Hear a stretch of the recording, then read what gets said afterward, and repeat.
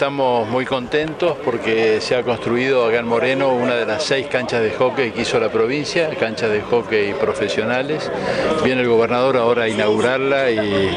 así estamos muy contentos con esta obra, sobre todo porque pensamos que el éxito que estamos teniendo con el campeonato de fútbol infantil tiene que acompañar ahora que cada club de barrio se convierta no solamente en un club de fútbol, sino también un verdadero club social e integral del deporte y empiecen las chicas y los pibes a practicar hockey también.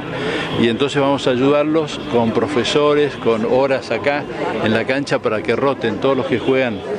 el hockey de potrero, digamos, que puedan venir un par de horas semanales eh, a conocer lo que es jugar sobre una cancha profesional. Este, nos va a ayudar a difundir el deporte, lo estamos hablando también con el Club Mariano Moreno, para trabajar en forma conjunta para la difusión del deporte. Sí, es una, una obra importante, estamos muy contentos. Por otro lado, el gobernador viene a firmar un convenio que es la puesta en marcha de algo muy importante que fue la ley eh, del hábitat, una, una, ley que se discutió durante un par de años y fue aprobada y que ahora se pone en marcha, que nos permite una gran redistribución de fondos de los sectores más acomodados de la sociedad que hacen eh, subdivisiones de tierra o, o, planes de urbanización importantes, tienen que, pagar un porcentaje que eh, va a un fondo y ahora esto es la aplicación del fondo en los barrios más humildes de la provincia.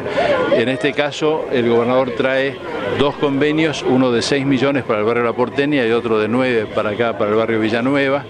lo que nos va a permitir hacer obras elementales para barrios que no tienen ni calles, la apertura de calles, eh, la consolidación con cascote de esas calles, el tendido de alumbrado público, eh, algunos desagües pluviales, es decir, obras elementales, eh, pero importantes para cambiar la calidad de vida de la población más humilde del distrito.